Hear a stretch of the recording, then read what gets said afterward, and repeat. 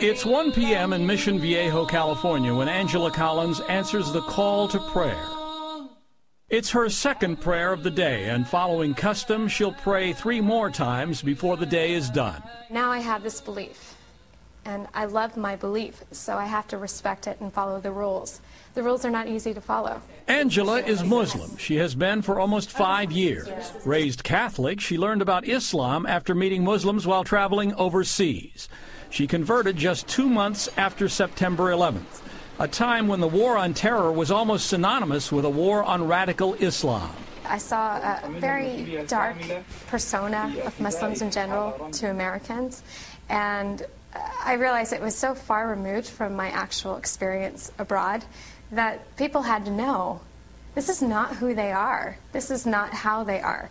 There are an estimated 1.3 billion Muslims worldwide, and most are not Arabs.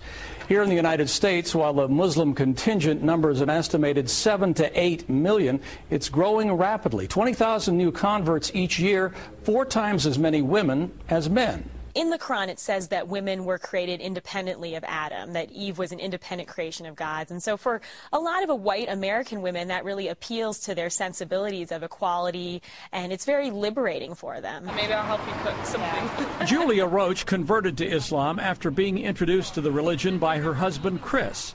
They weren't married at the time. He is also an American. When I found out he was Muslim, I told him, I believe, right away, I will never become a Muslim. I will never cover my head. I will never be this person. So don't ever ask me to be that person. And he never did. But she did have lively discussions with him about religion.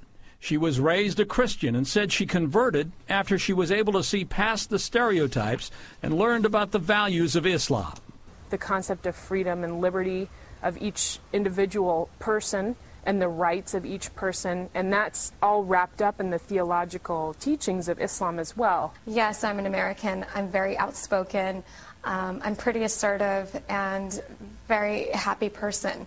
And it's not the typical stereotype that people see with a Muslim woman. We're going to read green eggs and lamb. Five years after converting to Islam, Angela Collins is now the director of an Islamic school.